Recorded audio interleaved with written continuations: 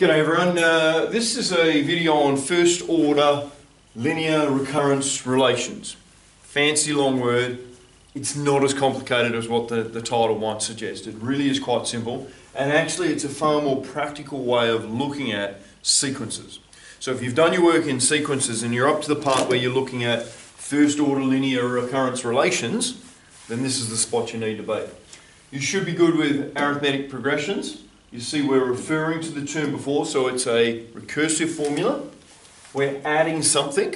Now this could be a negative number, but we're adding something. And we start at some point A. Doesn't really matter where we start, I'm not so worried about that. We've got a geometric progression, which is the same thing. We're multiplying the previous number to get the next one. Recursive again. And we start at some number B. I'm not really fussed about the number. This part on the end is, is really quite inconsequential to the idea. So now when we're talking about this, we're really talking when multiple things are happening. So can you see how here I've kind of combined the multiply part and the add part. Okay, I've combined the multiply and the add part together to get here. Now of course if I'm going to combine it together, I would actually need to have the same starting value, but that, that's aside for the moment. So this formula here says that to get to the next term, I take the current one and multiply by something, that might be a, an increase, a growth, or it might be a decay, a decrease. Could be either. And then once I've done that, I then add or subtract something. Now you might think, well, yeah, why? Like, do them separately. Well, maybe things are happening at the same time. Let me give you an example. Here's one here. Let's suggest that you run a farm. Currently, you've got a thousand sheep on the farm. And each year, you know that about 5%, 5% of the sheep have uh, a lamb. So 5% of them have a lamb. So that means if you do nothing else, your numbers are growing at 5%. But you also know, you also know that some of the sheep that you have, you grow them for wool, some of them pass away. Okay, they're getting old, you send them off, they're done. They become the lamb dinner next week. So you know that some of them you, you, you send away. So you've got a growth factor here from birth, and you've got a subtraction factor here from end of life. So this situation is a more practical situation. So let's have a look at the numbers over here. Starting with 1,000, notice I've called it T0 because that's the time right now. Okay, T1 would be in one year's time. So the numbers here, T0 is a 1,000 right now. T1, so we're going to have a 1,000 plus 50, that's me working out the 5%. Okay, to work out 5%, divide it by 10, divide it by 2.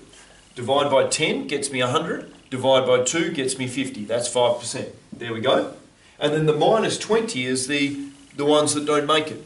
So here we go, 1,050 minus 20, 1,030. That's my next starting number. So then the next line would be plus, now it would be 51.5. Now you might go, we can't, we can't work with that. We can't really, because this is a practical example, I'd have to think, well, am I going to round that up or round that down? But let's just carry through with the numbers for now. 51.5 is 5% of that. Divided by 10 will get you 103 divide that by 2, 51.5, and the same minus 20 would happen here. Now that means that the difference here is 31.5. Adding it on there gets me 1061.5. Now again, I'd have to decide what I'm going to do with that 0.5. I mean, of course I can't have 0.5 for sheep, but I might do my numbers and then round at my final answer. Now you can see here what's actually happening. If you just look at these values, started there, came to there, came to there. So that would mean that my population is growing over time. Now you as the farmer might then go, you know what? Okay, well fair enough. If it's growing, I might not have enough feed or enough room for more sheep. So that would say that instead of doing 20 sheep that I know are going to pass away each year, I might go, you know what? 20 are going to pass away, but I'm actually going to sell maybe 20 as well. So you might change this number to 40, minus 40. So you might say I'm going to know that 20 are going to pass away and 40 I'm going, sorry, another 20 I'm going to sell. So that might keep your numbers in check here. You might redo this calculation and see how you're going for numbers. Okay? And you might work four or five years in the future, say, okay, well, it seems like I can keep a stable population given this particular birth rate and given this number here. Now, of course, let's parallel that to a different example, a different animal. Okay? Uh, let's suggest instead of sheep, you're farming cats. Now, I don't know anyone that farms cats, but follow with my example here. The birth rate of cats, of course, cats have a litter, all right? They could have five or six or seven kittens. So the percentage rate here would be a lot higher simply because from one uh, mother and father you have six or seven being born, whereas sheep generally it's just the one. Okay, so this, if it was if it was uh, sheep, sorry, if it was cats we were talking about, this might need to be as high as 1.65. I don't know what the number would be, but we might model some things and see what was happening there. It could even be higher than one, because really you've got a set of parents and six or seven being born, sometimes even more. You may actually find that they replace themselves uh, three or four times over. And, and one cat can have six or seven, maybe, litters over her lifespan.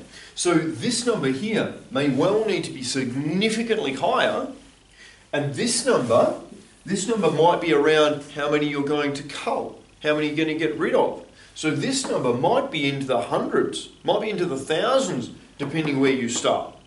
So if you were if you were managing, say, a, a, city and you had a bit of a feral cat problem, you might look at these numbers and say, you know what, this is what's happening. They breed all the time. We've got lots of kittens around.